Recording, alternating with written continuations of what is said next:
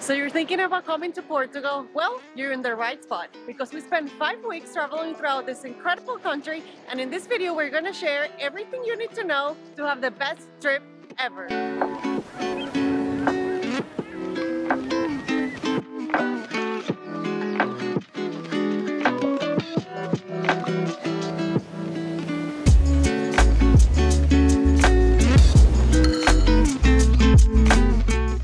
Portugal doing to us?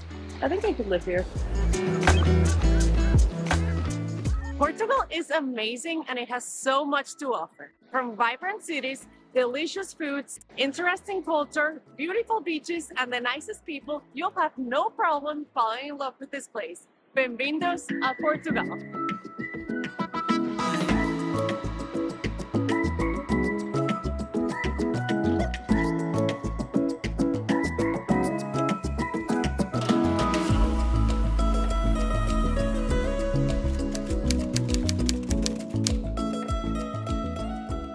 Portugal has three international airports, and most people arriving from North America will arrive to Lisbon. Although last time I checked, there's also direct flights from New York City to Porto.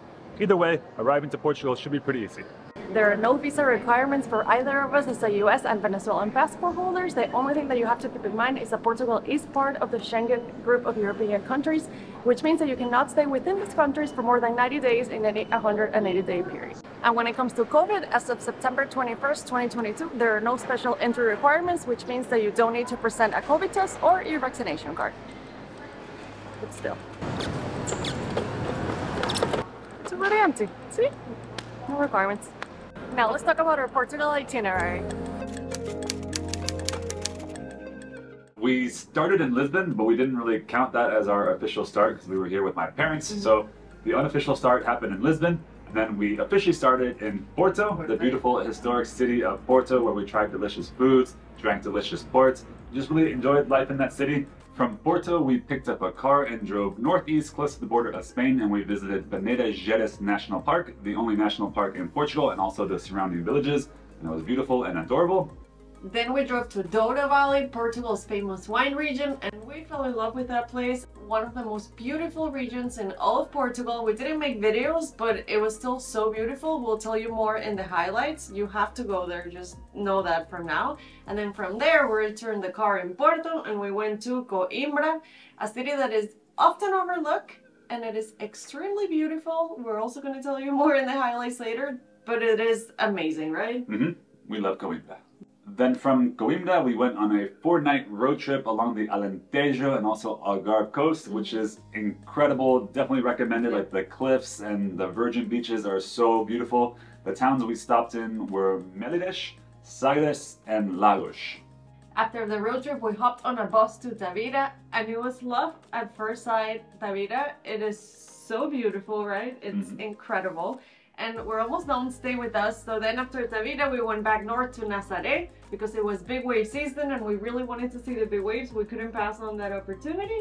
And after Nazaré, we ended our trip in Lisbon, in beautiful Lisboa, the capital of Portugal. And the city is filled with so much character. We fell in love with it and like the beautiful tiles and the hills, the trams, the waterfront. It is amazing here. We're gonna tell you more about like more specific highlights and other places we like later in the video. But for now, let's continue with safety. Thankfully, we say this after each travel series, but we have felt super safe here in Portugal and we are always out and about at night with our equipment and our cameras and we have never felt a danger. As a general rule though, you do have to be aware of your surroundings when you're in big cities, but this applies to any place in the world. But in general, Portugal is super safe to visit.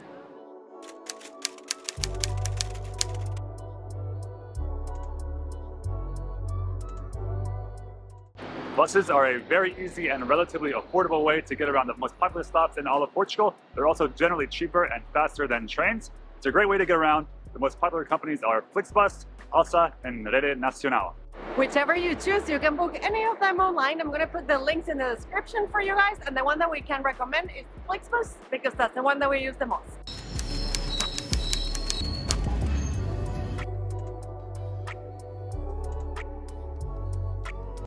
We only rode the train twice while in Portugal, but the train system here is very well developed. You can get between all the major cities and even regional destinations. There's even a high-speed train in Portugal, but the reason we kind of avoided it is that it's generally a little bit more expensive than bus travel. So when you come here, definitely compare the prices for train travel and bus travel before you go anywhere. And also a pro tip, make sure that you book ahead when you do any kind of intercity travel. That is a requirement here in Portugal.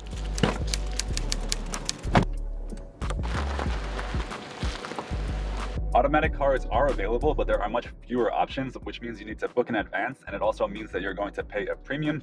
We pay 50 euros per day for both of our automatic cars. Also keep in mind to plan for tolls and gas when planning for your car rental budget. But even though it's a little bit pricey, we definitely think it's worth it. Renting a car in Portugal is a great way to get around this country. Pro tip, if you are driving in North Portugal, bring Dramamine.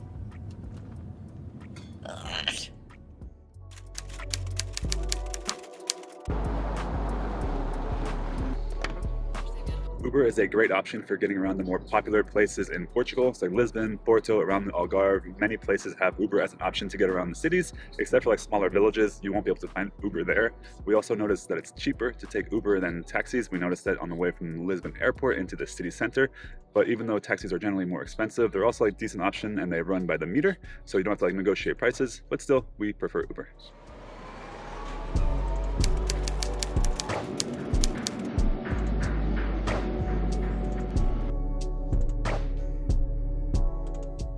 When it comes to moving around in the actual cities, the ones we visited were more or less compact, so we pretty much like walk everywhere. Just keep in mind that cities like Lisbon and Porto are kind of hilly and the sidewalks are uneven, but the public transportation system is great. They have buses, trains, and of course, the iconic trams. The currency in Portugal is the euro, and during the time of our visit in October 2022, it was almost exactly the same value as the US dollar, so it was very easy to do the math. Credit cards are widely accepted in Portugal, oftentimes even for smaller transactions, but just make sure that you bring a Visa or MasterCard. The American Express will not get you very far. And also, if a place doesn't accept credit card, which will happen, it'll say something along the lines of now tem multibanco, which basically means we don't have the multi-bank system, so no credit cards. And when it comes to tipping, it's important to know that Portugal doesn't really have a tipping culture. It's similar to the rest of like Western Europe, where it's more of like a roundup system. So if a taxi is like 750, you round up to eight. If at a cafe it's like 275, you round up to three. But if you're going to a nicer restaurant, then a tip of like five to 10% is appreciated. Learning about tipping is my favorite thing. And also, this is an aside, sometimes the hours of like restaurants are wrong on Google, and a lot of like local restaurants close between the hours of like three and seven.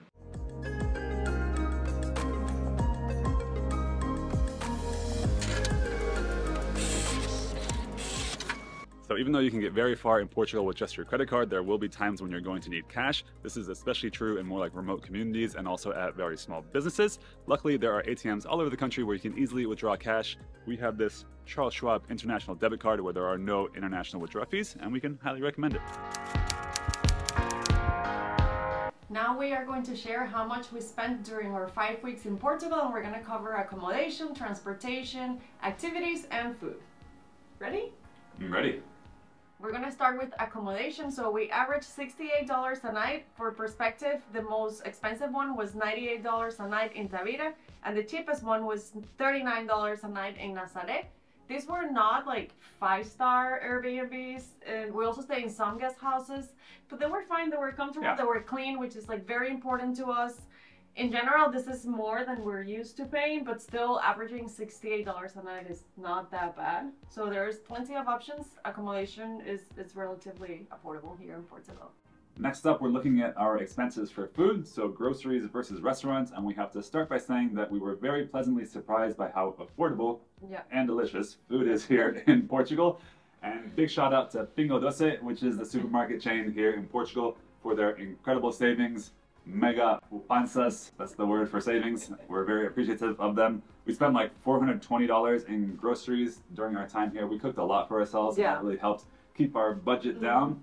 And then we spent about $700 at restaurants, so obviously a little bit more than grocery shopping. Mhm. Uh, but for context, if you eat like breakfast at a local place, it's never going to be more than like eight, Eight euros. euros, yeah, yeah. for like two coffees, like croissants, like little like empanadas with chicken, very delicious stuff. Yep. And then for dinner, we never really paid more than 40 euros, and that includes like house wine. Mm-hmm. House wine is very affordable, Yeah. so it's always great to order wine. Yeah, it's cheaper than water. Order wine whenever you can. Yeah, so it wasn't. It was never more than forty euros. Mhm, Yeah. yeah. So that's pretty pretty good deal, and the food is delicious. Pupanzas everywhere. Pupanzas, pupanzas. Pupa, pupa, pupalas. And for transportation budget, we have to divide it into car rentals, buses, trains, and taxis. So for car rentals, we rented cars twice and we paid 50 euros per day for automatic cars. We didn't really have a choice because we can't drive a stick. So if you can drive a stick, you do have to pay a little bit more. And this doesn't include gas and tolls, but I'm gonna put that here so you guys can like visualize it better. For taxis or Ubers, we took 14 taxis and Ubers. It was mostly Ubers because it is a lot cheaper than taxis, and they average about 9 euros. For perspective, the most expensive one was 17, 17 euros from the Lisbon airport to Airbnb, and that was a taxi. Your parents paid 10 Mhm. with an Uber. And then the cheapest one was 4 euros. And in general, Ubers are like very convenient and very affordable. And intercity buses are also affordable. We used the bus like six times to get to our different like destinations, and we never paid more than 24 euros per person. And the cheapest one was like five euros. So the expensive one does sound kind of expensive, but it was a very like convoluted route from like Yeah. Coimbra to Faro, and it took like seven hours. But in general, very affordable. And the train also is typically more expensive than the bus, but for the two times that we used it, we never paid more than like five and a half euros per Yeah. person, and that was just in the Algarve to get from Tavira to Albufeira. It was the short route. A short route. But it's still affordable. And last but not least are our expenses for activities. And we also kept our activity budget very low and only spent a total of $160. And this includes Fado nights here in Lisbon, a couple of museums, Mhm. a couple of entrance fees for Like churches, churches, yeah. and also like a port tasting in beautiful Porto. And the activities in general, they seem like pretty affordable. And also like you don't have to do a lot of activities like in Portugal Yeah. because it's just like a historic country and like beautiful nature. So you can just like walk around and enjoy. The one thing we did do is like avoid some of the things like the historic like lift here in uh, Yeah. Lisbon, which is like six dollars to go up a lift when you get like the same view by just like taking the stairs. So Yeah. there's ways around like certain things. So it's definitely easy to keep your activities budget very low, but obviously that's like a personal thing. Exactly. So summary: Portugal can be very affordable. And there are options for everyone, pretty much. We like to include this question in our videos because people always ask, and we think for Portugal the answer is no. Like, of course, like some touristy things are going to be more expensive because of the area that they're in or the city that they're in, but we never felt like we were overcharged, right? Yeah, not at all. I actually can't think of like one single time Yeah. where we were like overcharged. Like it's always like very transparent with like the pricing and like the restaurants or like activities. Yeah. I think Portuguese are just like too polite and honest to like overcharge tourists. Yeah, so- I know. Yeah, everything is there. You see the prices in advance, and then you decide if you pay for it or not. So Yeah. if it's like too expensive, then you just don't pay for it. But you know there are no surprises, Mhm. and that was very nice. My name is Aymara, And I'm Gordon. and we are Ways of the World. We're a slow traveling couple who love to spend longer periods of time in countries so we can learn more and connect with the people, learn about the culture, and just go to places that a lot of people don't go to. So our journey started in September 2021 when we spent three months in Turkey. Then we went to Mexico for two and a half months exploring the Yucatan Peninsula. Then we went back across the Atlantic Ocean and spent two and a half months in Albania. From there, we spent five weeks in Romania. And we just spent five weeks in beautiful Portugal. And these were some of our highlights and our favorite places. So Portugal highlights. This is very hard after five weeks of visiting incredible places here in Portugal, but we wanted to make this like kind of like useful for you. So if we had to pick five,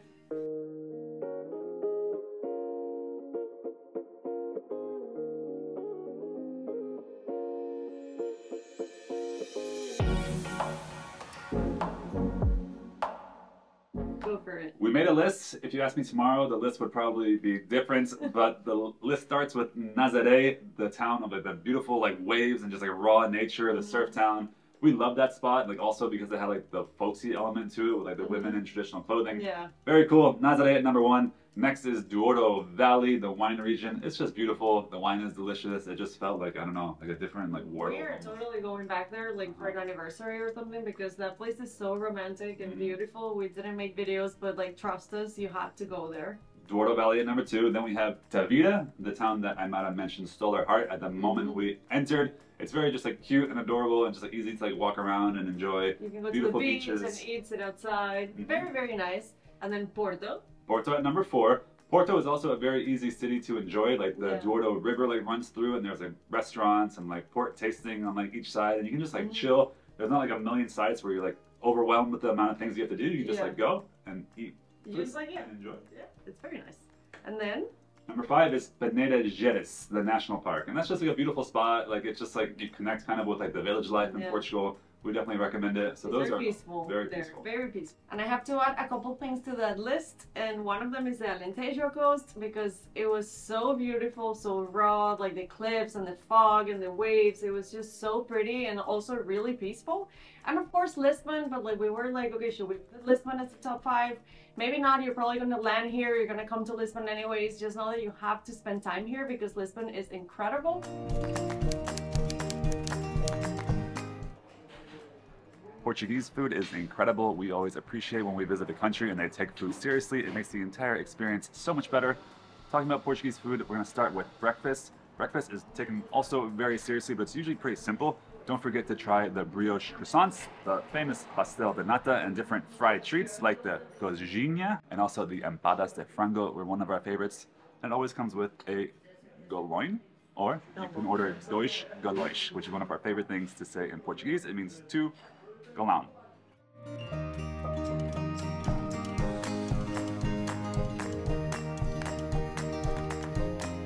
It's not easy to summarize Portuguese foods, but generally speaking, like the emphasis is on high quality meats and fish, and they're seasoned like very simply with like salt and olive oil. In some cases, they use like wine sauces. They also have a lot of soups and bean stews and stuff that can be like more hearty, like maybe more winter foods.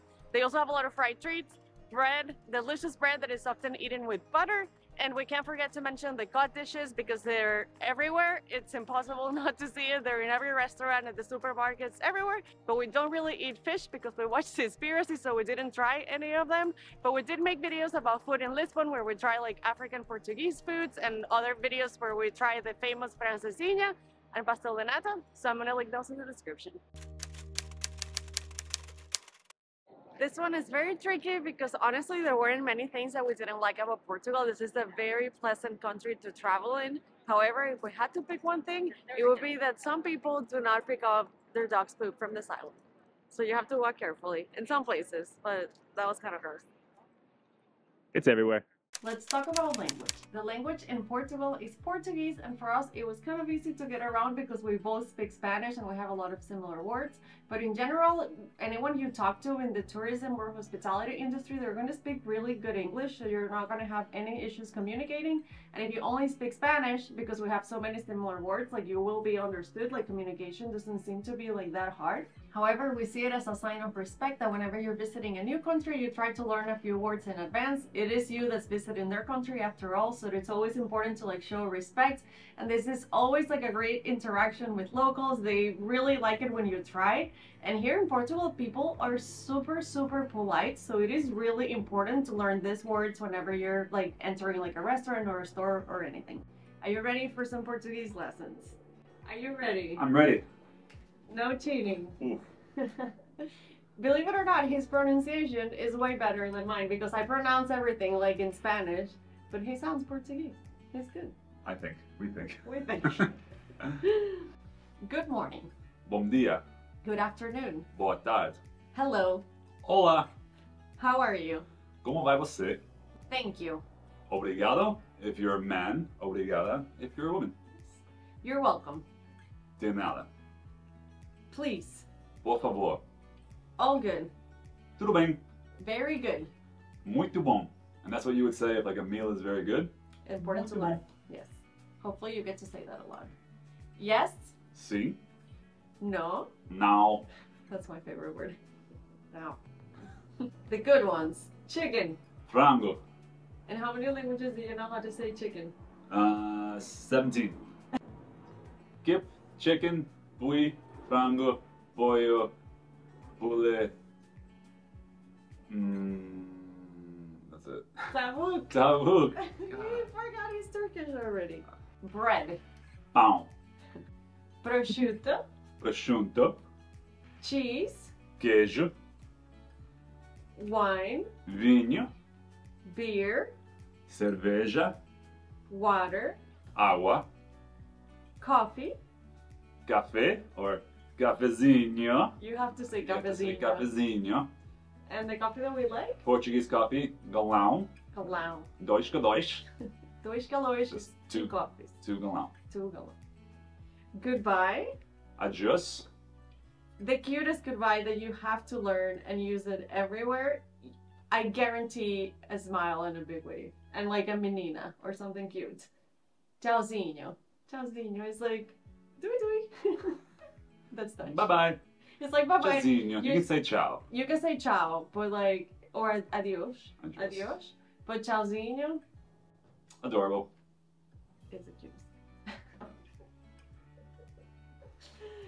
These people really love the Chelsea. When you say Chelsea,ino they really, really like it. And just so you know, there is a link in the description where you can download a PDF that has all these words and a lot of like useful tips and links about Portugal, and it's all in like a cute one-page printable PDF. It's in the description. It's very cute. It's very cute.